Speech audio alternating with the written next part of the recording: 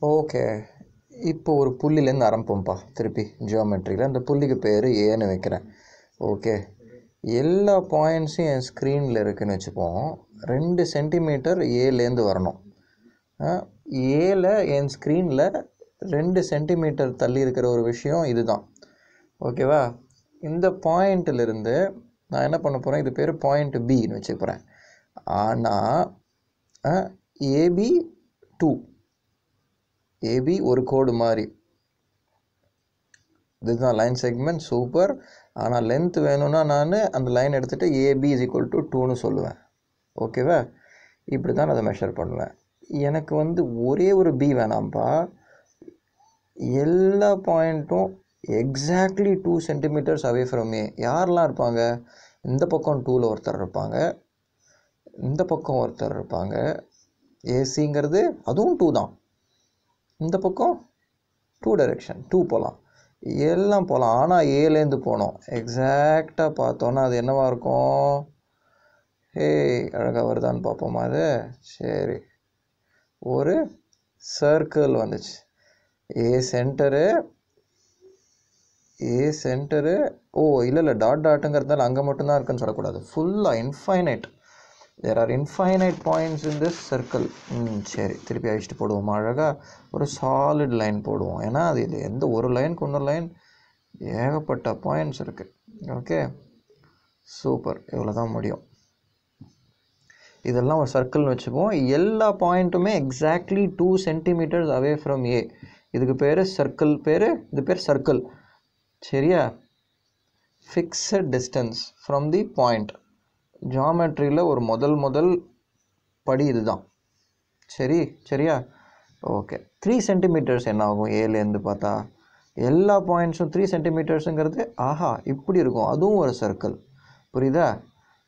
Circle மேலேயும் ஒரு circle மேலேயும் ஒரு சர்க்கிள் சரியா?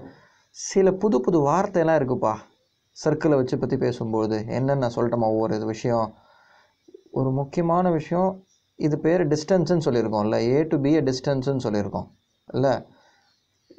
எந்த ஒரு லைன் செக்மெண்ட் வேணால் எடுத்துப்போம். சென்டர் இருக்கணும். ஆனால் சர்க்கிளில் எங்கேயாவது போய் ஒரு இடத்துல அது தொடணும். ஏபிங்கிறது என்ன? Connects the centre it connects centre to the any point on the circle கரெக்டாக கரெக்டாக சர்க்கிள் அது தொட்டுச்சு.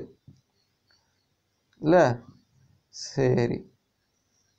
இதுக்கு பேர் ரேடியஸ். மறக்காதீங்க. ஓகே? ரேடியஸ். தமிழில் என்னன்றதை நான் எழுதுகிறேன் கீழே. ஏபிங்கிறது டூ அப்படின்னா ரேடியஸோட டிஸ்டன்ஸ் என்னது? டூ சூப்பரில் சரி. இப்போது இப்போ தான் முத முதல்ல நீங்கள் என்ன பண்ணுவீங்க? ஜாமெட்ரி கற்றுக்கும்போது ஜாலியாக ஃபஸ்ட்டு ஃபஸ்ட்டு புது வார்த்தைகள்லாம் வருது. இது வரைக்கும் நம்ம எக்ஸு ஒய் நம்பர்ஸு டெசிமல் தான் பார்த்தோம்.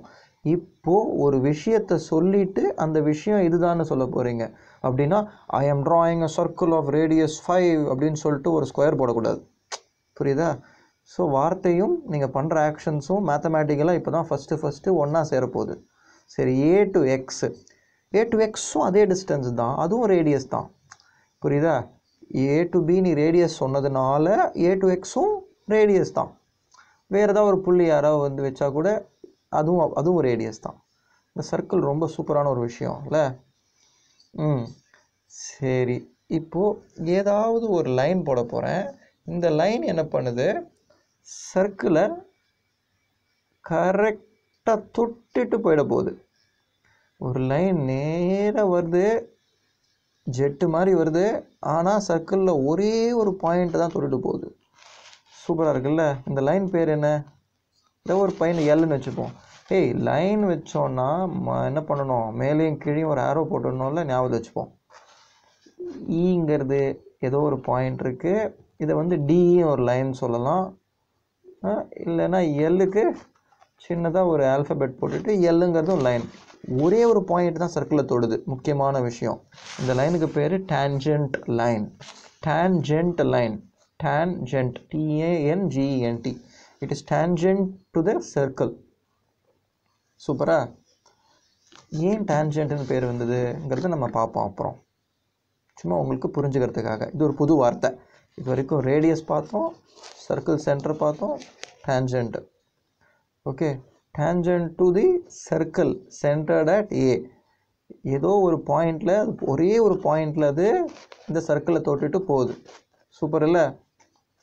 சரி. இன்னொரு சர்க்கிள் இருந்ததுன்னா அது தனியாக எழுதணும். அது tangent to M is different tangent to circle A is different okay super point ஏங்கிறது சர்க்கிளில் இல்லவே இல்லை. பாயிண்ட் ஏ சர்க்கிளில் இருக்கா? No the points which are all equal distance from A அதுதான் சர்க்கிளில் இருக்குது பாயிண்ட் ஏ சென்டராக இருக்குது ஓகே இதனால தான் பேர் வைக்கிறது முக்கியம். சரி இன்னொரு லைன் என்ன பண்ணுது? டேஞ்சென்ஷியலாக கட் பண்ணல. அது ஓரமாக போல். இது நல்லா வெட்டிட்டே போயிடுது. வெட்டு எங்கே வெட்டுது? எஃப்பில் வெட்டுது ஜியில் வெட்டுது இந்த சர்க்கிளில் ம்?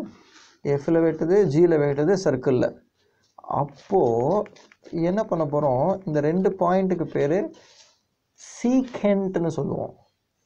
இந்த லைனுக்கு பேர் secant S E C A N T this line is called secant to the circle இதுவும் டு த சர்க்கிள் தான். ஓகேவா இஃப் எஃப்ஜி வந்து இது பேர் ஒரு லைன் செக்மெண்ட் தானே? இது வந்து பொயினே இல்லையே லைனாக இல்லையே? எஃப்ஜிங்கிறது லைன் செக்மெண்ட்டு ஞாபகம் இருக்கா அவங்களுக்கு லைன் அண்ட் லைன் செக்மெண்ட் போன வீடியோவில் சொன்னோம். கட் பண்ணிட்டாங்க. இந்த லைனை கட் பண்ணிட்டாங்க எஃப்ஜியில் அப்போது அது பேர் எஃப்ஜி லைன் செக்மெண்ட் லைன்னு சொன்னால் ஆரம்பமும் இல்லை முடிவும் இல்லை வெட்டிட்டு போயிடுச்சு சர்க்கிளை எஃப்ஜி லைன் செக்மெண்ட்னு சொன்னால் கரெக்டாக எஃப்பில் கட் பண்ணியிருக்கு ஜியில் கட் பண்ணியிருக்கு.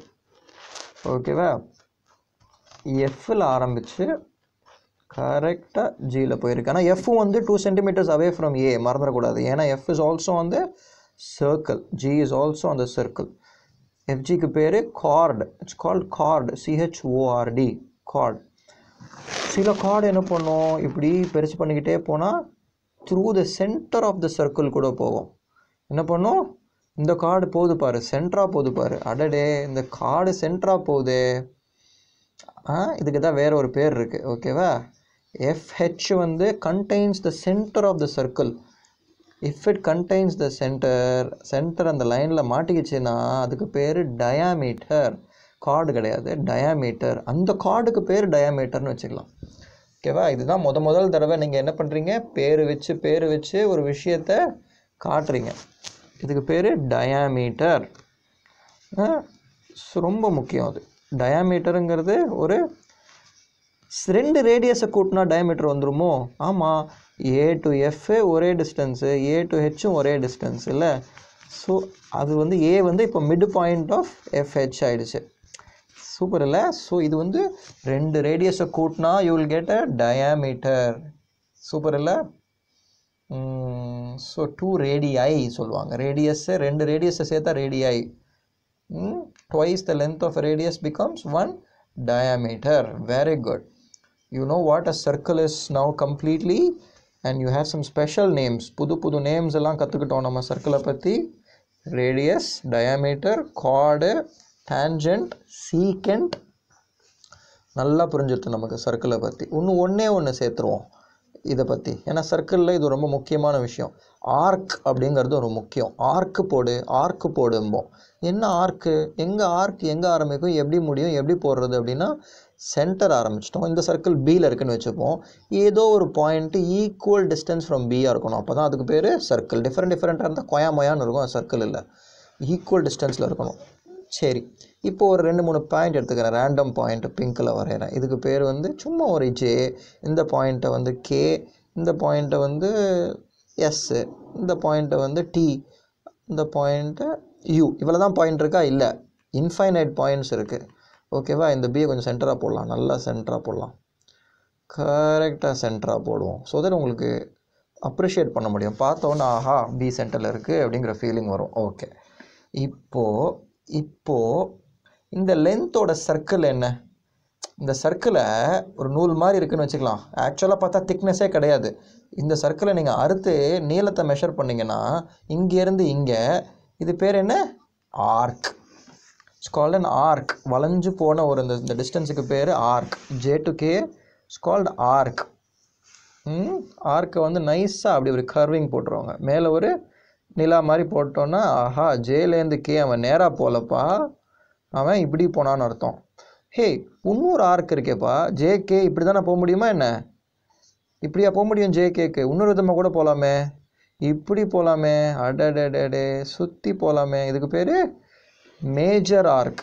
ஒரு சர்க்கிளில் மேஜர் ஆர்க் இருக்குது மைனர் ஆர்க் இருக்குது இது மேஜர் ஆர்க்கு சுற்றி ஊரெல்லாம் சுற்றி கேக்கு போனோன்னா அது பேர் மேஜர் ஆர்க்கு செம்ம ஆர்க்கு அந்த ஜேகே இருக்குது குட்டியாக இருக்குது மைனராக இருக்குது எப்படி காட்டுவோம்? ஜேலேருந்து ஆரம்பித்தோம் ஜேயூடின்னு போடலாம். இல்லைன்னா ஜேடி கே டீயையும் நீ சேர்த்ததுனால அது அது becomes a becomes a my major arc D வழியாக போனதுனால அப்படியே. ஜேயூகே போட்டிருந்தாலும் அதுவும் major arc J S K அதுவும் மேஜர் ஆர்க் ஓகே ஸோ ஆர்க்குங்கிறது இப்போது ஏ எப்படி வந்துச்சு? அப்படிங்கிறதும் நமக்கு புரிஞ்சிச்சு சர்க்கிளில் இல்லை? மைனர் ஆர்க்கு ஷார்ட்டர் டிஸ்டன்ஸ் குட்டி டிஸ்டன்ஸு மேஜர் ஆர்க் வந்து லாங்கர் டிஸ்டன்ஸ் ஒரு பாயிண்ட்டு இன்னொரு பாயிண்ட்டுக்கு சல்லு சல்லு சல்லுன்னு போகலாம் சர்க்கிளில் இல்லை? ஆனால் எல்லாம் ஈக்குவல் டிஸ்டன்ஸ் ஃப்ரம் பி மறந்துடக்கூடாது. All right will keep talking